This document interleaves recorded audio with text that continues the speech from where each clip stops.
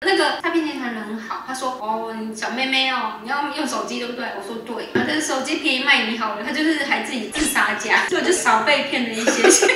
嗨，我你好，我是死胖子。嗨，大家好，我是海带爸。原在，今天就是因为我们要延续之前我们是有拍一集 shopping，因为刚好看到有一位网友他有留言欧大的提问，其就很常见，只是你把它场景换到了虾皮。以前是什么？雅虎、露天，他就设一个假账号，叫你说把你的钱汇过来，然后收了钱之后，我东西不出去，然后人不见，这是标准的嘛？就诈欺嘛。只是他现在把它场景把它搬到虾皮去，都是一模一样的。所以第一件事情要做什么？报警啊！报警。对，然后这样嘛？要报警吗？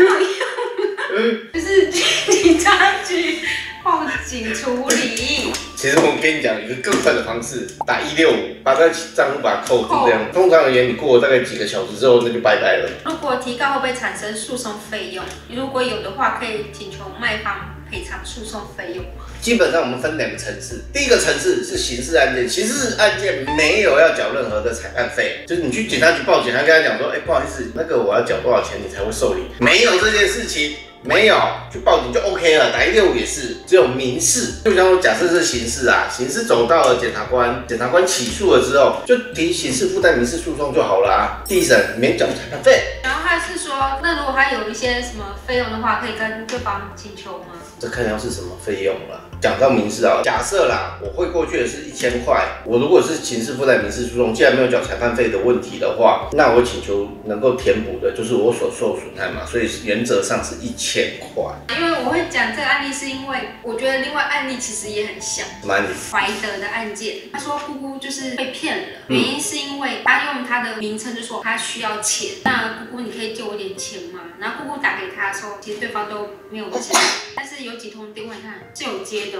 我们看到打勾勾的地方，是姑姑有接听那个电话，然后就觉得那就是怀德本人没有错，然后所以他就真的去把这一笔钱，看起来好像是汇了三十五万，会给了这个假的怀德。其实诈骗集团的方式都是一样的，处理方式就是像刚刚文律师讲的。就是赶快转过去。我跟你讲，诈骗它通常最主要的诈骗方式就是，我一定要让你不停的跟我联系。我如果在诈骗你的当下，我还让你可以跟其他人接触，或者去询问其他人资讯，那我诈骗的成功几率就非常低。所以其实我不管以前我在法院工作，或者是之后我跟远景所接触，其实它诈骗的特色就是，我一定要赶快在这短短的时间之内，就要让你把钱汇过来。只要让你尽量不要去接触外面其他的人，你一旦接触到。外面其他人的时候呢，我能够诈骗的成功几率就降低了。它其实刚刚就显示了，我在这个短时间之内，我就是要让你赶快把钱汇过来。然后通常遇到这种诈骗方式，你最好的方式就是报警一六五，然后去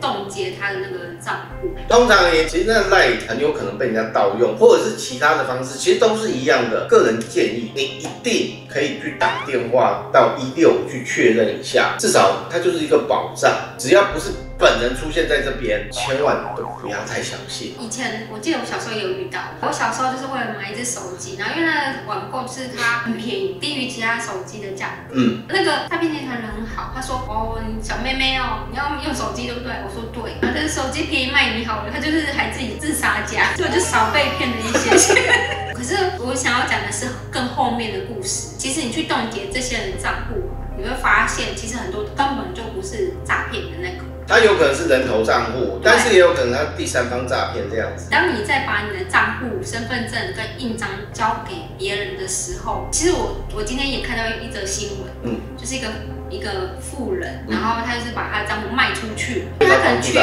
缺钱嘛。可是你知道吗？你这样接下来你就背负更大的债务，因为你的账户就被冻结。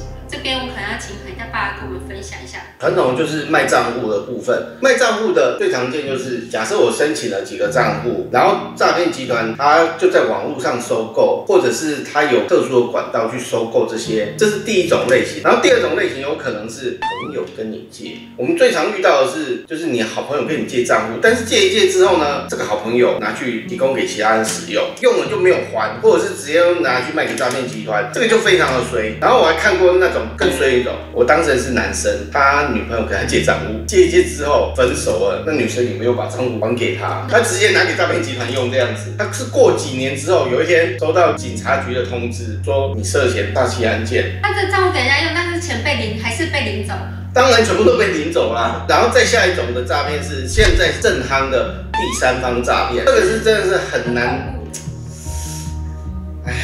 就是他利用人，有些人他可能是一个单纯的心态，譬如像说，假设我想要骗你，假设你可能在前几天你有在网络上买东西，我就打电话给你，通知，哎，那个袁菜你在我们卖场有买什么，但是你不小心设定了什么多付了什么钱这样子，然后我们现在需要你去操作设定，把那个分期付款每期付多少钱，把它取消。这袁菜有可能信以为真，然后就想说，好，那我去把它做取消这样子，或者是说我这边就想说，那我们这边先把钱退给你，就像说他买的东西价值是。一千块，但是呢，我骗他说你那个多贵了，因为你那设定错误导致你每期都要扣款。你现在已经多给付了，假设是四千块好了，就总共你付了五次。假设海苔，海苔他可能是卖账户的，譬如像说第三方诈骗，海苔他可能是也是一个被害者。我这个骗人的，我就骗他说你要汇到我这边这样子，所以我从这边骗了两万块，然后我又传递一个讯息跟他讲说，哎，我要退你。四千块，但是我不想退到两万块，你能把钱还给我？所以他就照做，他就把钱汇到老板的账户里面，这就是所谓的第三方诈骗。老板账户就是我在使用，所以他转过去我就把钱领走。领走，